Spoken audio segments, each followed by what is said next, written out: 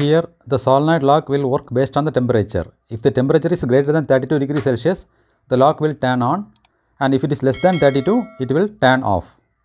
Also we can measure the humidity, air quality and also the light value. The components required for this experiment are ESP32 board, solenoid lock, DHT11 sensor, MQ135 sensor, LDR sensor, 5 volt relay, 3 batteries, connecting cable and connecting wires.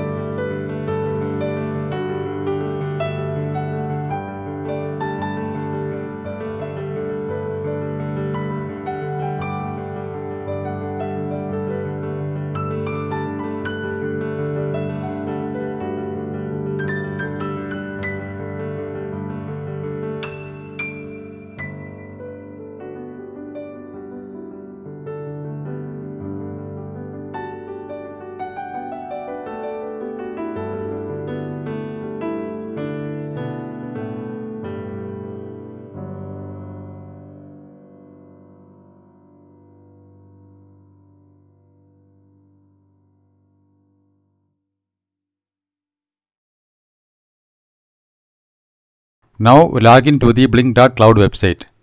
Then go to developer zone. Here click on new template and give the template name Smart Classroom Environment Monitoring. And select the hardware as ESP32 and connection type as Wi-Fi and click on the done button. Now go to data streams. Here click new data stream and select the virtual pin. Here give the first variable name as temperature and select the pin as V0, data type as double, maximum value as 100 and select the cell, unit as Celsius. You can change the color if you needed. Now click on the create button. Now again go to new data stream and select virtual pin. Now the second variable name is humidity. Here the pin is V1, data type is again double, maximum value is 100 and the unit is percentage. Click on the create button. Now again go to new data stream and select virtual pin and the third variable is air quality. Here the pin is V2, data type is integer and the maximum value is 1023 and click on the create button. Now again go to new data stream, select virtual pin. So the fourth variable is light level. So here the pin is V3, data type is integer and the maximum value is 4095 and click on the create button. Now the final variable which is for the uh, solenoid lock status. Here the pin is V4 and data type is string and click on the create button. Now go to web dashboard. Here we need to drag 4 gauge widgets.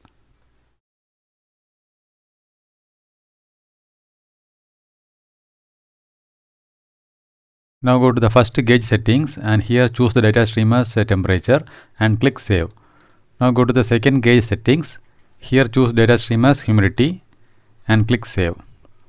Now go to third gauge settings. This is for air quality. So choose air quality data stream and click save.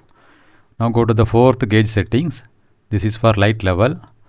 Choose the data stream light level and click save. Now we need to drag the label widget for the solenoid lock status. Now go to the label settings. Here choose the data stream as solenoid and click save. Now save the template. Now go to devices. Here click new device and then select from template. Here we can see the template which we created. Select that and click the create button. Now we got the template ID, template name and authentication token. Click here and copy these values. Now go to your program and paste the values.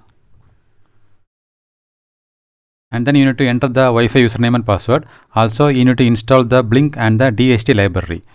Now we need to upload the program. For that go to this drop down. So here the port will be already selected. If you want to change the board, click this edit button. Here you can search for the board. We are using ESP32 board. So search for ESP32 dev module. Select the board, click OK. Now click this upload button and upload the program. Now the program is successfully uploaded to the ESP32 board. Now we can set up the Blynk mobile dashboard. For that, download the Blynk IoT application from the Play Store. Once you open the application, you can see the template which we created in the Blynk web dashboard. Now click on the template, go to settings. Now click the plus icon from the bottom of the page. Here also we need to add 4 gauge widgets.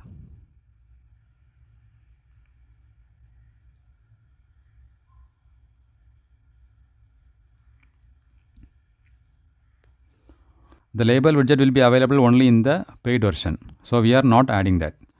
Now click on the first gauge. Here choose the data stream as uh, temperature. Go to design and give the title as temperature. Go back. Now click the second gauge.